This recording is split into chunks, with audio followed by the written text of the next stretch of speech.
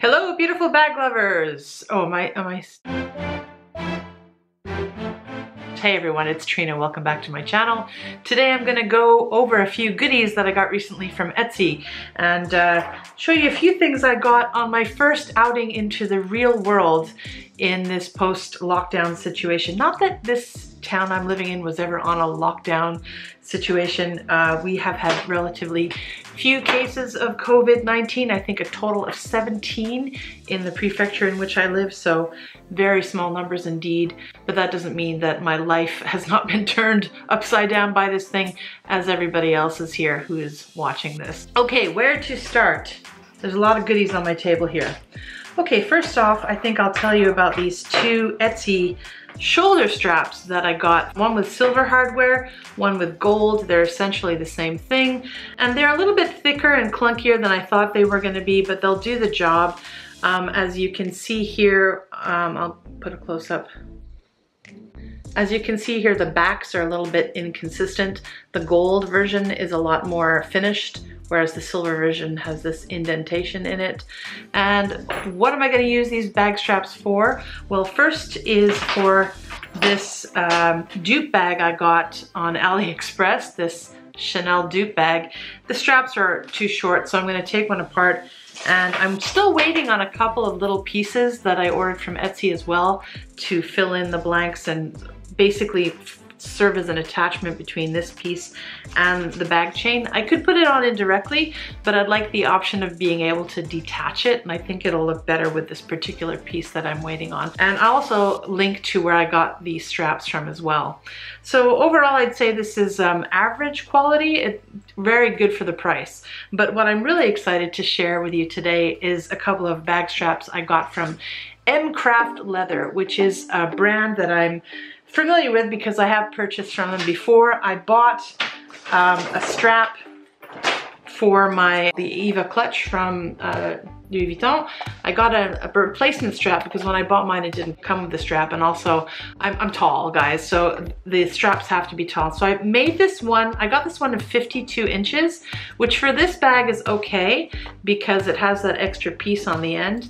And this strap you guys, the quality here, I mean they focus on uh, replacement straps for Louis Vuitton specifically, as well as maybe a few others. They do uh, the Keta leather, and this one is obviously in the damier color. And to me, you know, these are just as good as the real McCoy. The finishing is fantastic. These are quality straps, so I can't say enough good things about them. So so much that, you know, I went out and bought two more straps from the company. To me, luxury is, is more than just uh, the fancy brands and the good quality. Uh, the bespoke element should be there too. You should be allowed to customize your things.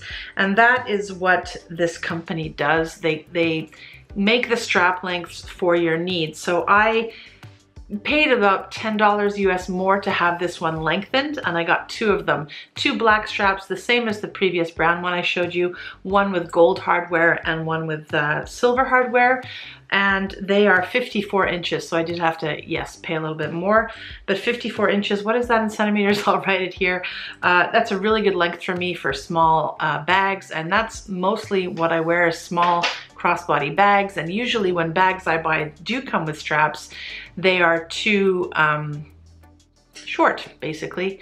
Usually you can buy straps that are adjustable, but when they're adjustable, two things. First of all, they're never long. It's rare that they are adjustable to the length that I need, which is longer than most.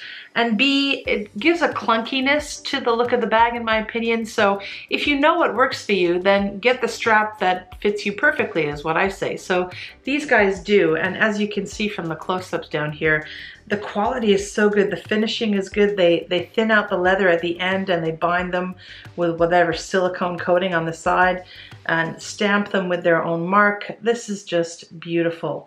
And I can share with you also a comparison to a Louis Vuitton strap that I have for another bag. It's a very small bag. This was actually a bag for my Montaigne.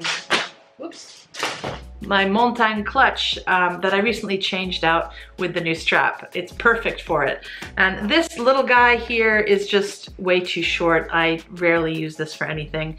And it's also too long to serve as a, um, a shoulder part for chains on the end. A lot of the time I've been using this uh, Chanel type leather strap with chain. It's very Chanel-esque. I got this from Moto or Malto, and I also recommend this company. Um, but this is a little dressy, and um, this, this strap here, this leather strap, really kind of dresses down the bag, A, and B, makes it a lot more comfortable to wear.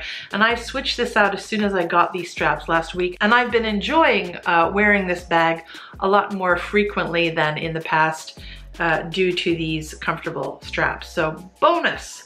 I also have, uh, I've shared this with you before, but from K-kraft, I have this chain. Uh, this is, I don't know the exact same length. I'll put it in the description box, but it's a very long chain that I replaced with the chain on the other bag. I didn't, I don't think I showed you this on this bag yet. Oh, maybe I have.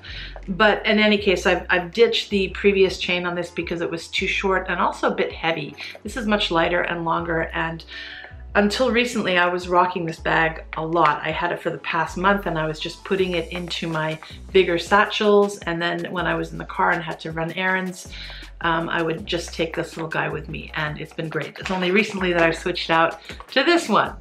Another strap that I bought from uh, Etsy from K-kraft this time around was a, um, another uh, Rolo style chain that I can wear again with this guy here. And in fact, I already had one, but it was too short. So I decided, oh, you know, I'm gonna go back and get this customized to my desired length. And it's a little bit long because I wanna be able to use it with other bags too. Because again, on the Eva clutch, you do have that extra piece here, but it's fine. It works just fine. Better too long than too short. For me, too short is just not flattering. And I'm going to sell the other um, strap that I had that was too short. Um, the other strap was about 130 centimeters, so not particularly long. This is probably 137, I think, in centimeters. Yeah, I think it is actually. Um, K-kraft does not charge a lot. They are a brand that sell, I think, through eBay as well as through Etsy.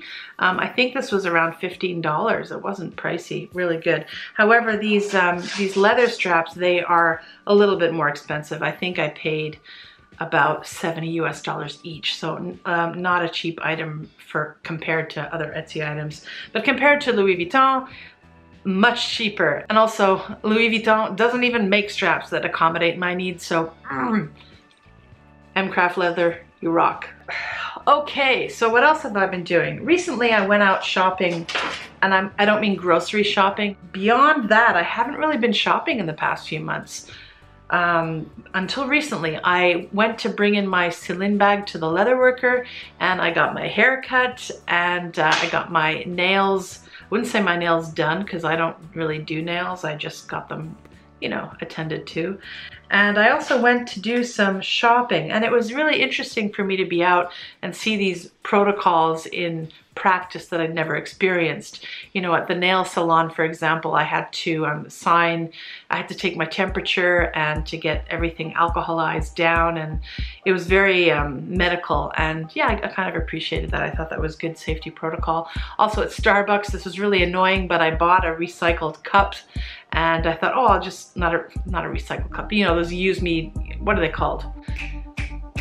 eco-friendly, it's not a thermos, but it's a cup that you can reuse. Okay, we'll leave it at that. Anyway, I bought one of those and I went to use it uh, the next day at, because I was back at Starbucks and uh, they wouldn't let me do it because of the coronavirus. They said, no, sorry, no, we, we won't do recycled or reusable cups. You have to uh, just take our paper ones. So I did, and I, I didn't even think about that, you know? Going out and about in these times is different. Maybe all of you have experienced it before. Uh, I went to my local, um, there's only a couple of like department stores where I live in the downtown area. They're pretty small, pretty local, but I did get some footage of some bags and I'll show them to you now. But before I do that, I have to show you guys, I bought another bag strap yet again. This one is a guitar strap and it just gave me Gucci vibes and I couldn't say no. It's pretty loud, but uh, I like it. what do you think? And there are some other ones there that I really enjoyed too. So I'm gonna end this video now. Oh no, I'm not gonna end this video now. While I was out, I also did a little bit of perfume shopping because I'm a frag hag in addition to a bag hag, as I've suggested to you more than once, I believe. And I might be doing a little more perfume reviews on this channel. I was thinking about starting a new channel, but, oh, that's thunder out there, rainy season. Um, I don't know you guys, would you be interested in looking or hearing about perfumes from me? Because I'm sure happy to talk about them. In any case, I have three new perfumes here, 10 milliliter roll-ons or sprays. The first one here is a classic that I've always uh, purchased in the past in the, for the hot weather, is uh, Verveine. Verveine is basically a citrus aromatic. It's very lemony, but a little grassy. It's very refreshing, very strong. It cuts through the sweaty stickiness. And when you have a very humid climate, you need something like this. And you, unfortunately, I'm more, I'm less of a freshy and floral and more of a heavy, spicy uh, scent type of gal, which is unfortunate because I do live in a hot climate, so I can't enjoy those really rich fragrances as much. Especially in the summertime, it, it would kill people, be too cloying. But this one is like the whole lemon tree. Not the fruit itself, but like the whole, the branches, the stems. There's some geranium, I think, and maybe rose at the bottom. But it's, it's crisp, it's fresh, it's bright, and that will get you through the summer. So there's that, and that's really good to carry in your bag as well, really small. And another one that I've tried for the first time is uh, uh, Thé Verte or vert. And this is obviously green tea. And this is a reformulation of theirs. So this one is also a roll-on. And this one is very, is very smooth. There's definitely some orange at the top, maybe bitter orange. I think it's grounded by some woods of some sort, maybe some, maybe sandalwood, I'm not sure but and maybe musk. And the green tea is definitely there, but it, it doesn't bite you. It's not overwhelming. You have to sort of search for it a bit. And it's definitely not the bitter green Japanese tea variety. It's more of a more of a Western type of tea, I think. It's gentle. It doesn't scream, but it's definitely there. And there might be some jasmine in here too. It's, it's really pretty. It's really light and refreshing. Uh, nothing nothing offensive about this. Um, Japanese culture is not one for perfume. I can't get away with wearing a lot of my crazy ouds and stuff like that because I'd, I'd scare people, I think. This is very, very unoffensive, very pretty. So there's that. And the third one that I got is uh, Herbae, I think, in French, what it would be called. I don't know in English, Herbae. This is a weird one. I decided to go off the beaten path here. I generally do not like um, florals. I'm not that type of girl. I like the weird stuff. This is this is weird. This is like, oh, that's just a little weird. I think a lot of people would find this too sour green and bitter. It's, it's very aromatic. There's nettle, sage, some biting herbs in here. Grass. There is blackberry though. It's very grainy but it, it's fresh and wet and, and barky. It's interesting and it's nice to have something interesting. Hats off to um, L'Occitane en Provence for pulling this one off. It's a little weird though. I, I don't think I like it as much as the other two, but I wanted to try something different this summer, so I decided to get this. And if we get, if other people like it too, then I'll continue to wear it. Ok, so that is it for the parfum d'aujourd'hui. Et on va finir avec euh, d'autres choses avant de partir. So, I'm going to end this video now and show you around the stores. Bag Hag, signing out. Mwah.